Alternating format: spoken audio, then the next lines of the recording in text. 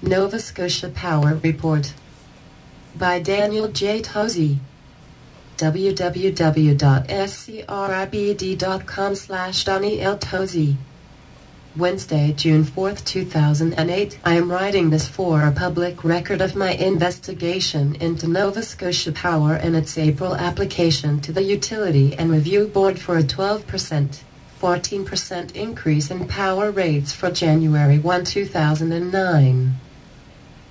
I am writing this because I do not trust the government and I fear for my safety. In my research I discovered that before 1992, Nova Scotia Power was a non-profit, publicly owned public utility and essential service. After this date the public was told that Nova Scotia Power had accumulated a huge debt, which was made to appear that the province of Nova Scotia was incapable of managing this public utility properly and that it would hand the control over to a private management company the government of Nova Scotia did not do what would have been expected and go out and seek a suitable and existing experienced company to manage Nova Scotia Power. I phoned the Premier's office and asked for information as to how and why a public utility was handed over to a for-profit company. I then stated my view that Nova Scotia Power belongs to the people of Nova Scotia. I indicated that I feel that the government conspired against the people of Nova Scotia and that I feel that the public has been ripped off and that a conspiracy crime has taken place to defraud the people of Nova Scotia.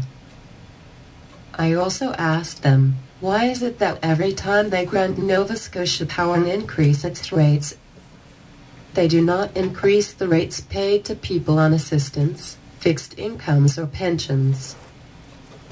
It's because the 20% of the well-off people in this province work for the province or a corporation that reaps benefits from the government.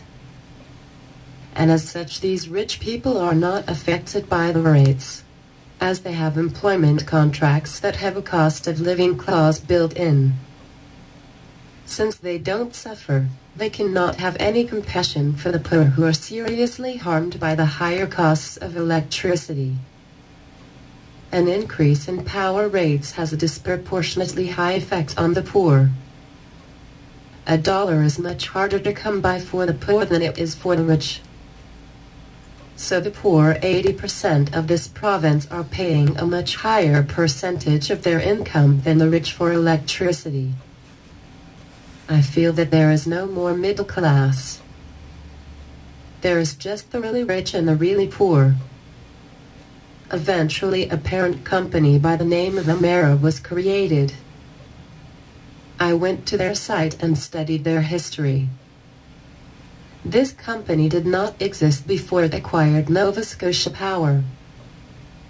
The price of electricity has been going up ever since. This company is now making over $250 million in yearly earnings. I read on our site that they made $345 million in 2007. This company has been making so much money from Nova Scotians that it has been buying up assets in other energy businesses. The infrastructure of Nova Scotia Power is the same today as it was before it was handed over to Emera. Everything that is there was bought and paid for by the Nova Scotia taxpayers. I asked the Premier to please give me information as to how much Emera paid for this $4 billion infrastructure. As Emera had no assets when it was created. I also indicated that any profits made from this Nova Scotia Power public assets should be given back to the people of the province of Nova Scotia. I was also surprised to see that there was no provisions made for Emera to pay off the pre-existing debt of Nova Scotia Power. So now the taxpayers have lost this money-making public asset, which means that the people of Nova Scotia were not able to use Nova Scotia Power's profits to pay off the debt. So now Nova Scotians lose twice they have to pay off the debt plus interest and pay higher energy prices, further increasing the poverty in this province.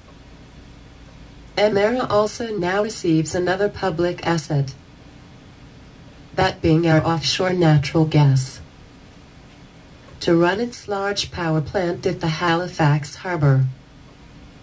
You would think that this would have helped to bring the costs down for Nova Scotians. I remember the news reporting that Emera stated that natural gas was going to reduce their cost of producing electricity by 40%. So I was shocked. A few months later they applied for an increase in their rates and that the government of Nova Scotia granted it. The taxpayers have seen absolutely no benefits from their other resource being the natural gas. Background information on Nova Scotia.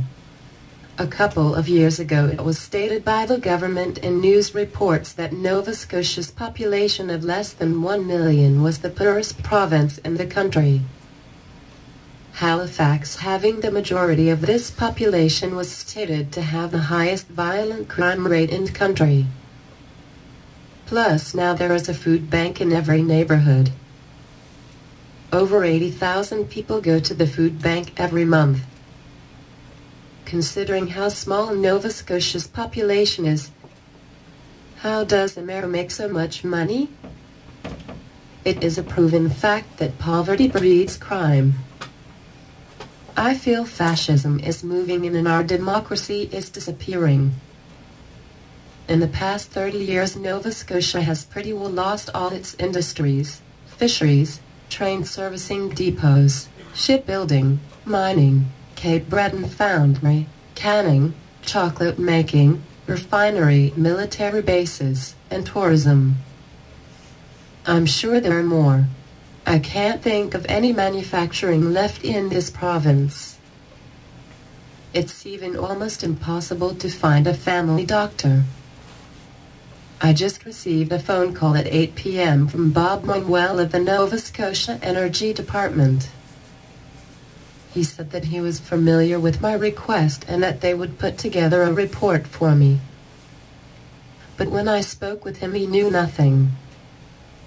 His call was strange as he did not ask me anything and I had to tell him what information I was looking for. He never indicated that he would call me back. I found it strange that he also did not have my address or email so I really wondered who this guy really was. I said to him that I was looking for answers to the questions that I asked the Premier's office. I also indicated to him that I needed this information for my article I was writing and also so that I could be better prepared for my testimony at the upcoming hearing on Nova Scotia Power's rate increase application. Thank you for reading this. I hope it was informative for you. I will write some more about this in the future. If you're a Nova Scotian, please call your politicians if you are concerned about the power rates. PSSSSST. Get involved. Update. I applied and was accepted to speak at the public hearing at the Public Utilities Board and when they realized this, they canceled all public involvement and made all their decisions behind closed doors. Future update. I was run over by a car on November 22, 2009, leaving me seriously injured and disabled. Nova Scotia Power Report.